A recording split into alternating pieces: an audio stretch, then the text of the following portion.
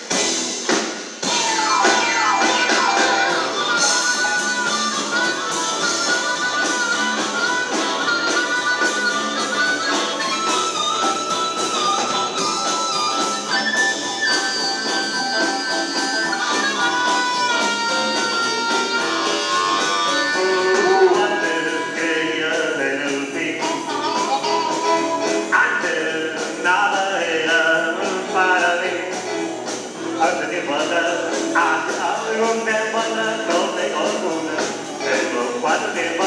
だ